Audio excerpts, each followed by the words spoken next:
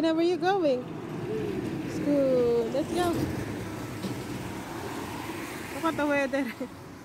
Oh, dilim. Oh my.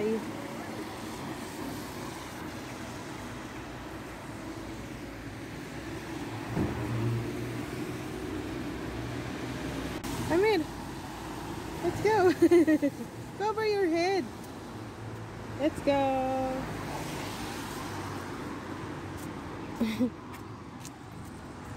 Mama can see you ah. No crying ah. Oh, you go up na?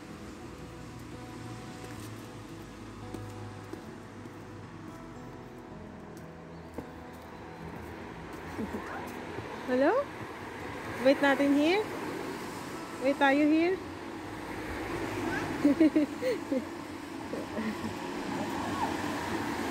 Say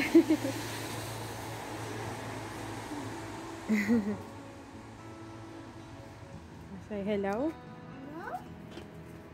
Anyone here? Anybody here?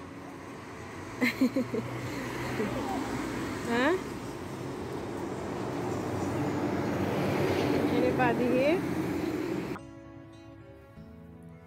Balik na ako from the nursery paghatid ko kay Venice.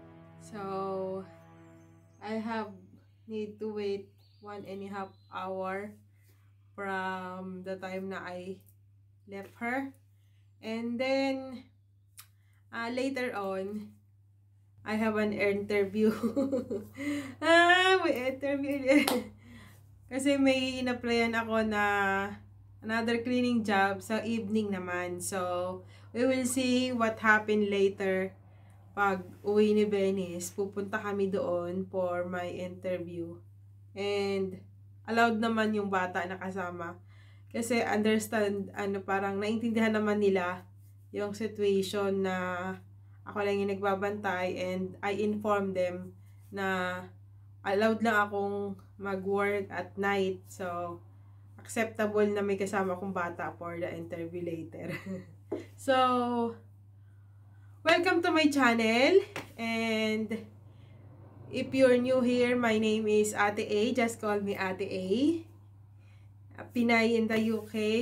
Pinay dito sa UK. And my YouTube channel is all about a Pinay living here in the UK.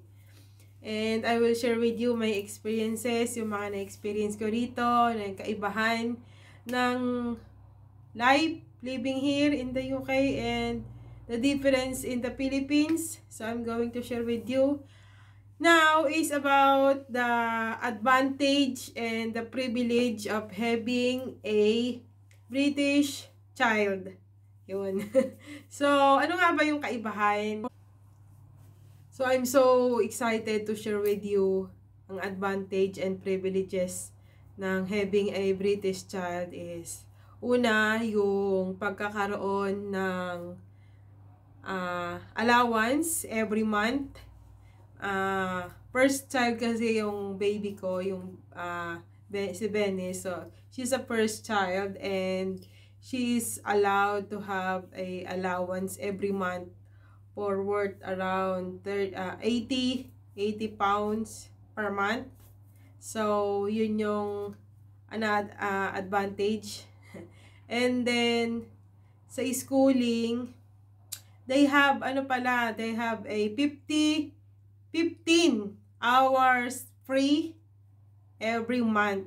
So, what we take on, mm, kaya namin inaccept yung privilege na ipasok siya ngayon sa nursery is para at least makonsume yung yung oras and then uh, advantage din yun na ipapasok yung mga bata para at least at, at the young age na titrain yung separation from the mother or from the parent and then they also nagkakaroon also ng uh, foundation uh, para sa kanila na makipag halubilo, friendship. Sa ano kasi, only child siya dito sa bahay, walang ibang bata. So, sis, doon sa nursery, maraming, marami siya makakasama.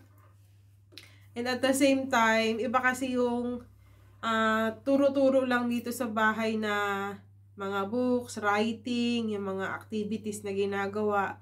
Doon kasi sa, sa ano sa nursery, may mga activity na mga parang mga parang mga dirty activity, mga arts, mga ganyan.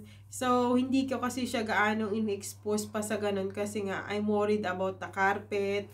I'm worried about the mga mga wall kasi nga rental lang kami.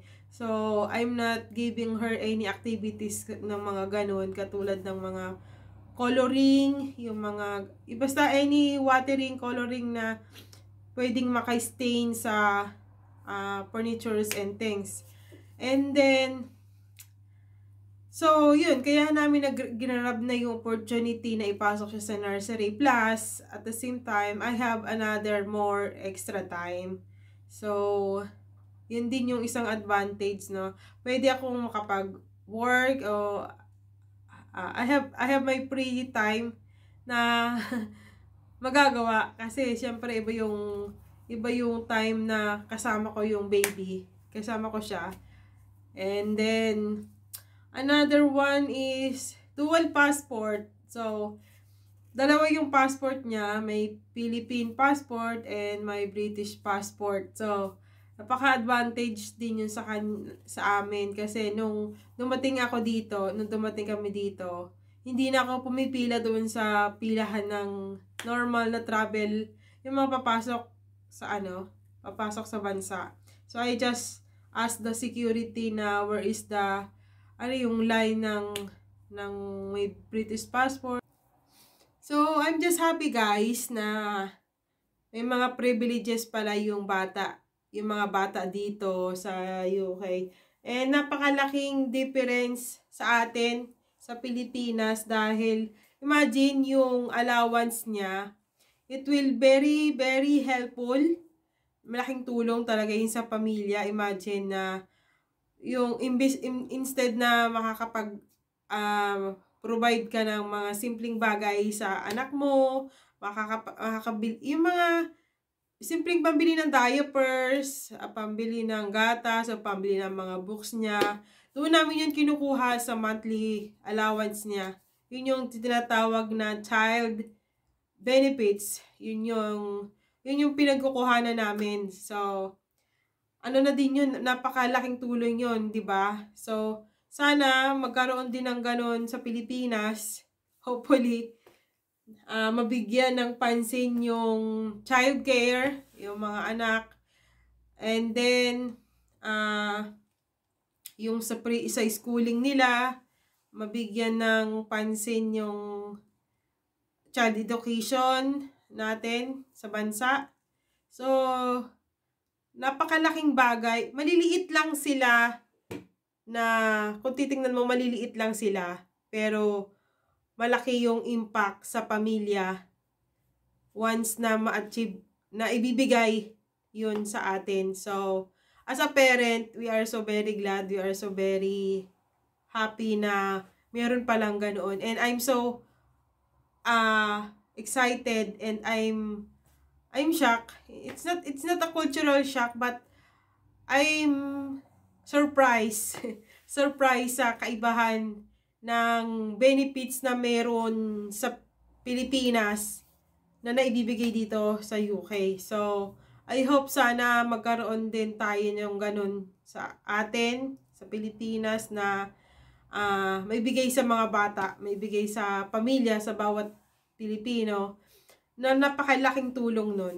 That's it for now guys and see you again next time for my next vlog. And if you have any other question about living here in the UK, having a child of British citizen, and then anything na you have a question, you just comment down below and don't forget to like, share, and comment to my video and thank you for spending time with me. So, Uh, don't forget to subscribe on my channel for my updates and I'm just going to uh, uh, share with you all my experiences here. And follow me on Instagram, add me on Facebook. See you later next time. Bye-bye!